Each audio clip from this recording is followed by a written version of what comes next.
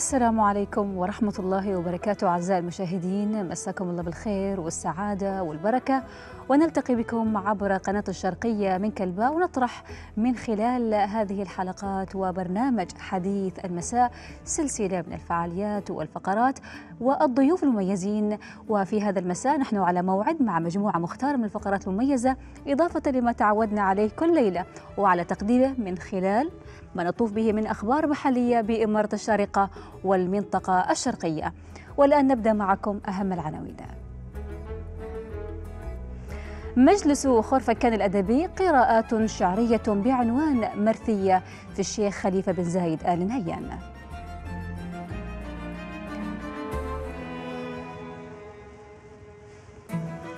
معهد الشارقة للتراث ينظم فعالية بشارة القيض في مدينة جبل حصن.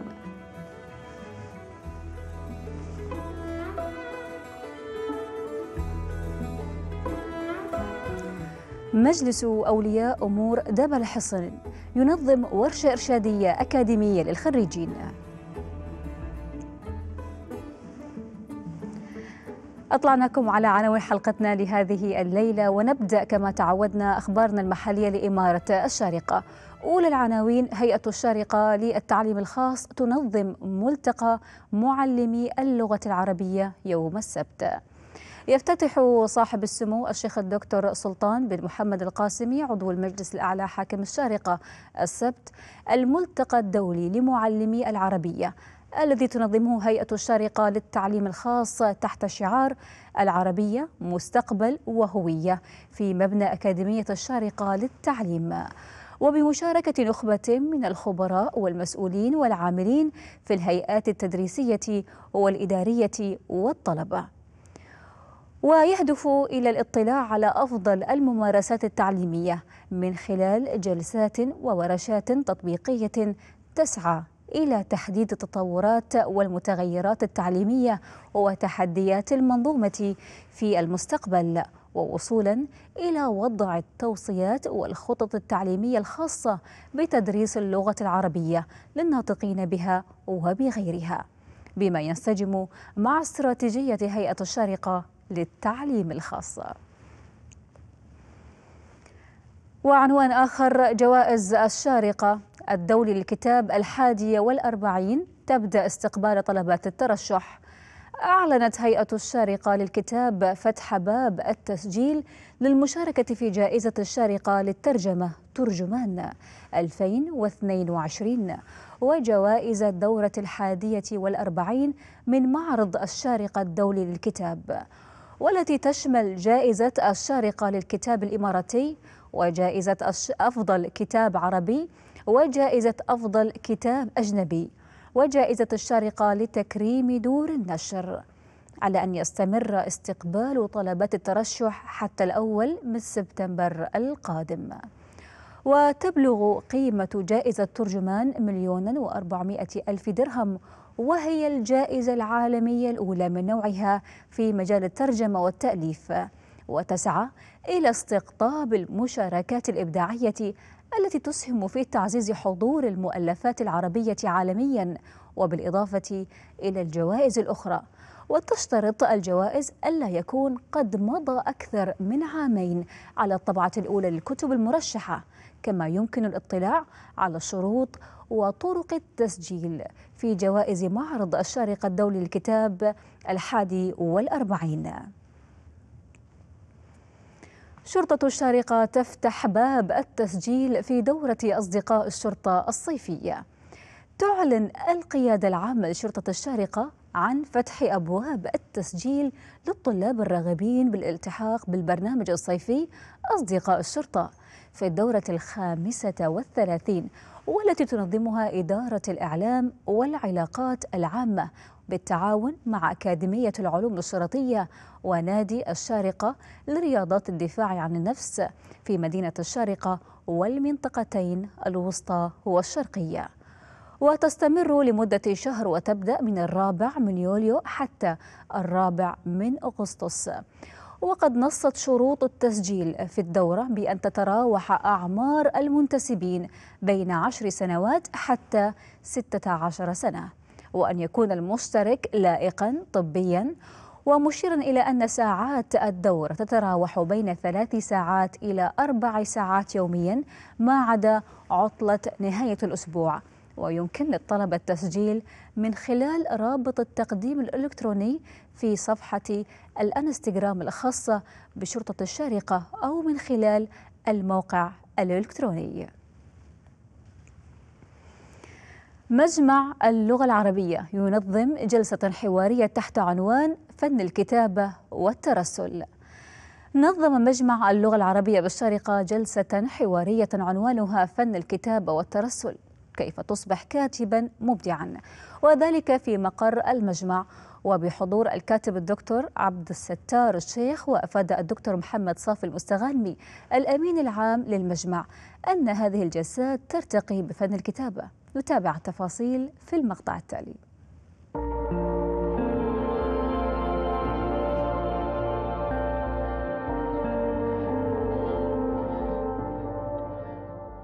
كانت هذه الجلسة اللغوية بدعوة من مجمع اللغة العربية بالشارقة حيث اعتدنا كل شهر أن نقيم مجلسا لغويا. والحمد لله لقد وفقنا في هذه الندوة حيث دعونا أستاذا كاتبا أديبا أريبا متمكنا من اللغة متمكنا من ناصيتها. حدثنا وتناقشنا حول فن الكتابة والترسل. كيف تكون كاتبا عارفا مبدعا خريتا كيف تتحكم في فن الكتابة وتبدع؟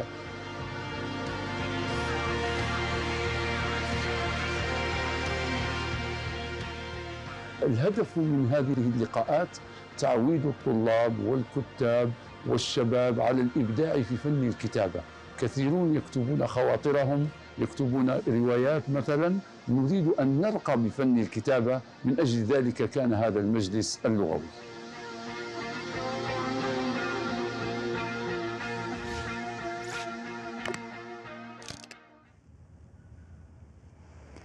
ونذهب بخبر آخر تحت عنوان لقاء إعلامي مفتوح للتعريف بقدرات طلاب مركز مسارات.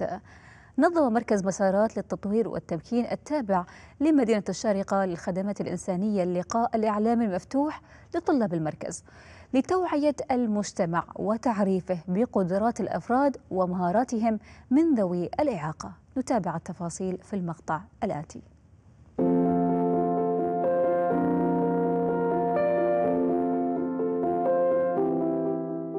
اليوم آه، عندنا اللقاء الإعلامي آه، هدف اللقاء الإعلامي المفتوح لطلاب مركز مسارات هو توعية المجتمع بالأفراد من ذوي الإعاقة وقدراتهم ومهاراتهم وأنواع البرامج اللي يقدمها مركز مسارات.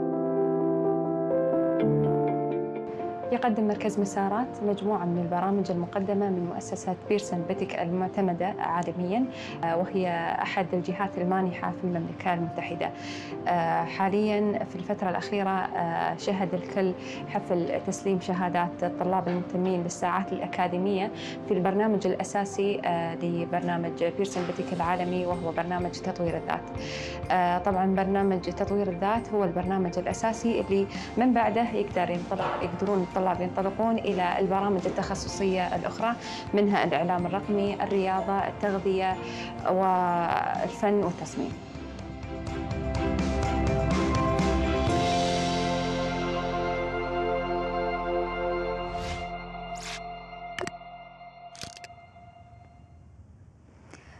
وما زلنا مستمرين في أخبارنا المحلية.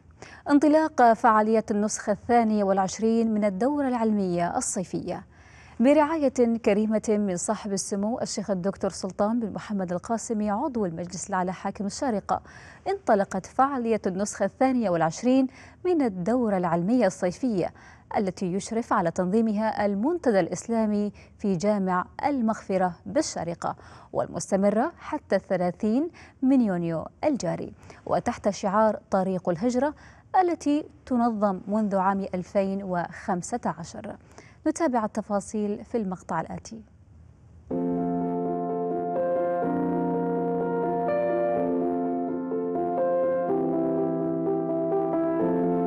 هذه الدورة العلمية الثانية والعشرين التي ينظمها المنتدى الإسلامي نظمت من عام 2005 بتوجيه من صاحب السمو حفظه الله وكانت هذه الدورة تعنى بكثير من مناحي العلوم الشرعية العلوم القرآنية والحديثية وأيضا السيرة والفقه.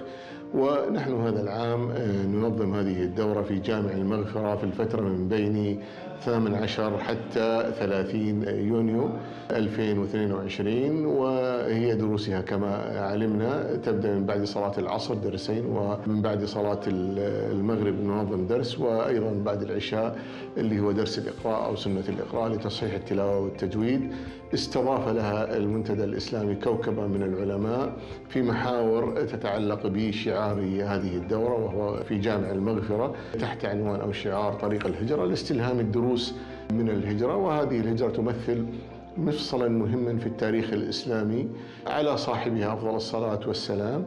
نحن نتعلم القرآن ونتعلم الحديث ونتعلم كثير من دروس الفقهية التي استنبطت من مشروع أو آه، من الحقيقة رحلة الهجرة هذه كما أننا نتعرف على النبي عليه الصلاة والسلام بأخلاقه وآدابه وشمائله وكذلك أيضا استضافت اللجنة المنظمة آه، لهذا البرنامج الحقيقة الطلبة الذين يحضرون وفرت لهم كل الوسائل التي تساعدهم في أن يتلقوا آه، هذه الدروس بسهولة بعد ويسر من بعد هذه الجائحة التي أغلقت المساجد من أجلها.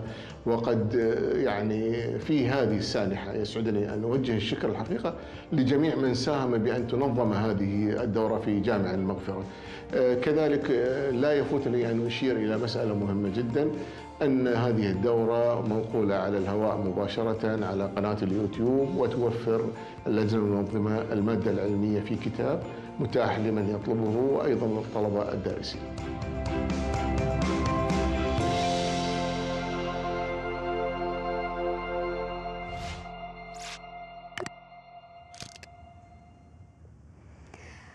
وحول هذا الموضوع والدورة العلمية الصيفية بإذن الله في يوم السبت سيكون لدينا اتصال ومكالمة مع المجلس أو المجلس الإسلامي ونتحدث أكثر حول هذا الموضوع.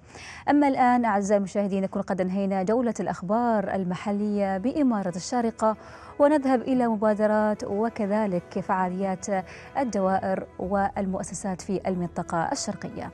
تنفيذا لمبادرات البرامج التربوية والاجتماعية ولتعزيز سلوكيات ومهارات عناصر المجتمع نظم مجلس أولياء أمور الطلبة والطالبات بمدينة دبل حصن التابع لمجلس الشارقة للتعليم.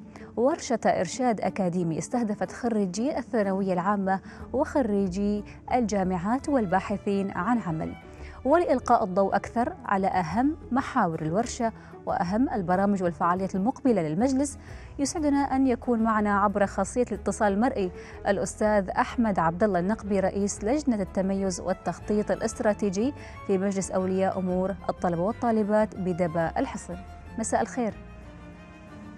مساء النور والسرور يا مرحبا أستاذ عاشر في البداية أستاذ أحمد لو تعرفنا على طبيعة ورشة الإرشاد الأكاديمي. آه، طبعا في البداية بسم الله الرحمن الرحيم.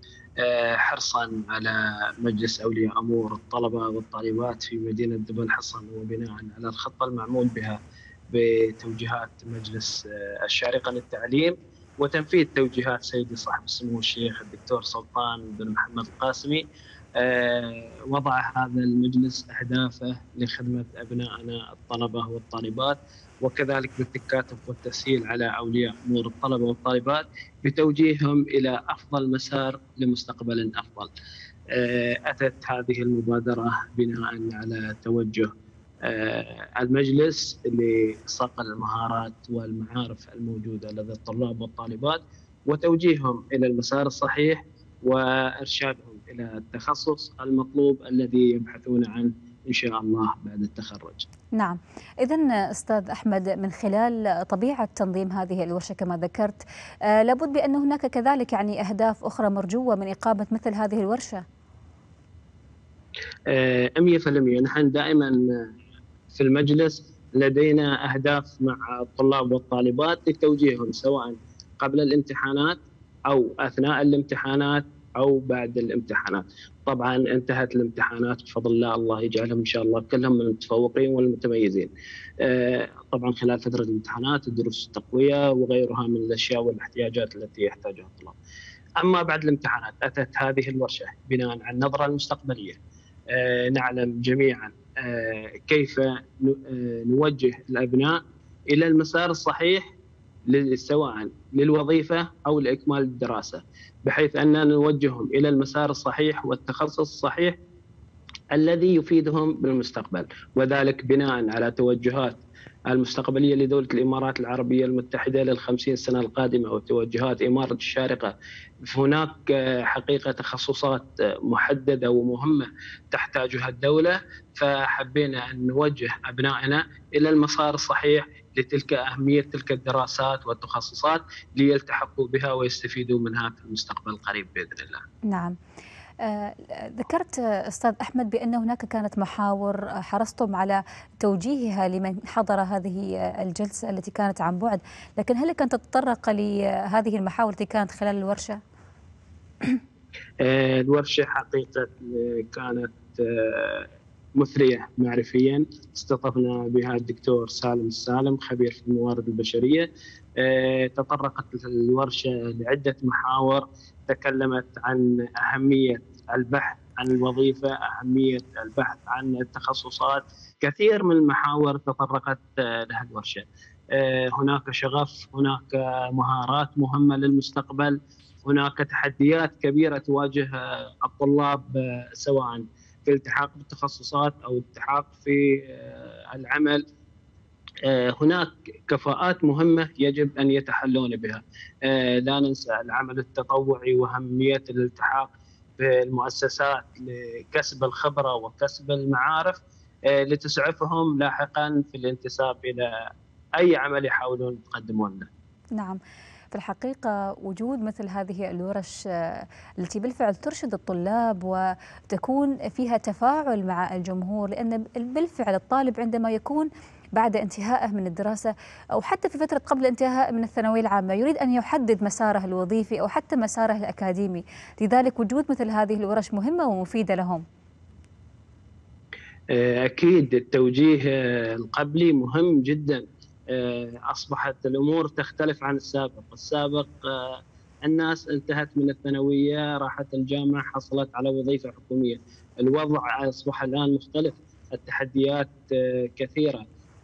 هناك مهارات يتحلى بها أبنائنا مهارات كثيرة حقيقة يجب الاستفادة منها والاعتماد على العمل الشخصي، الاستفادة من تلك المهارات في الاستفادة من الأعمال الشخصية فتح مش فتح مشاريع خاصة بالإضافة إلى العمل الحكومي. ولكن نحاول أن نوجه الأبناء للاستفادة من التخصصات المستقبلية مثل التكنولوجيا.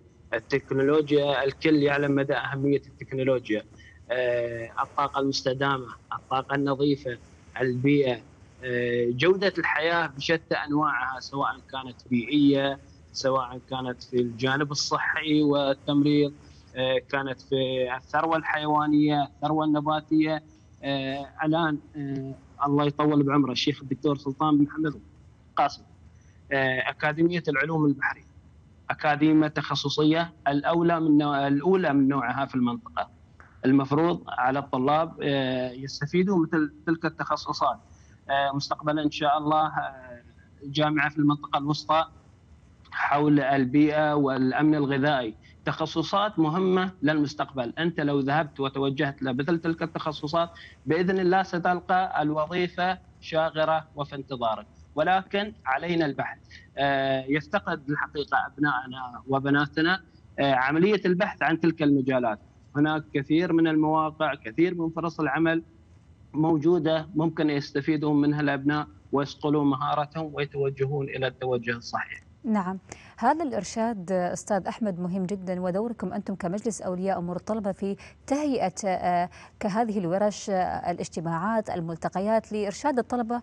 بالفعل هو دور مجتمعي تحرصون أنتم على تقديمه من خلال فعاليات والبرامج المقدمة من خلالكم. وكما ذكرت نقطة مهمة جدا أستاذ أحمد ألا وهي بأن آه، على الطالب أن يلتفت لتخصصات المستقبل وأن يلتفت آه، إلى آه، ماذا يريد سوق العمل من تخصصات لذلك حتى يتكدس عدد الطلاب في يعني المنازل عاطلين عن عن العمل إذا أستاذ أحمد ماذا خرجتم بأهم التوصيات في الورشة وحول التخصصات الأكاديمية؟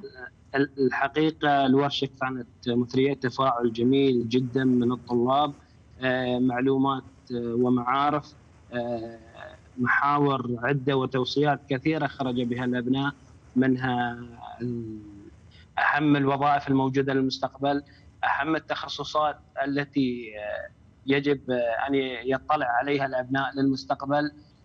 ما هي أماكن أو نقاط التي يجب أن يستفيد منها الطالب لكسب المعارف. الفرص نعم. التطوعيه عندك في المجالات الخيرية كثيرة. جمعية الشارقه الخيرية الهلال الأحمر وكثير من الأماكن التي فيها الفرص التطوعية. الآن في إمارة الشارقة الفرصه التطوعية ما شاء الله في كل مكان. آه، كذلك التطوع في مجال المال والأعمال. شركات كبيرة ومهمة جدا آه، لا يمنع أنك آه، تعمل لديها أربع شهور خمس شهور، الآن قانون دولة الإمارات العربية المتحدة يتيح للطالب أن يدرس ويعمل في نفس الوقت لكسب الخبرة بدوام جزئي آخر الأسبوع. فأحرص على الاستفادة من تلك الأشياء الموجودة التي تمنحها الدولة لأبنائنا الطلاب لكسب الخبرات. أنت بتخلص الثانوية العامة آه، بتلتحق في هذا التخصص. بينزل لك راتب بناء على التخصص المطلوب. هناك كثير من آه، الوظائف آه، جاهزة للطلاب مجرد أنهم يسجلون فيها ويلتحقون فيها. بينزل لك راتب أثناء الدراسة وراتب ووظيفة. تنتظرك بعد الدراسة بإذن الله. نعم.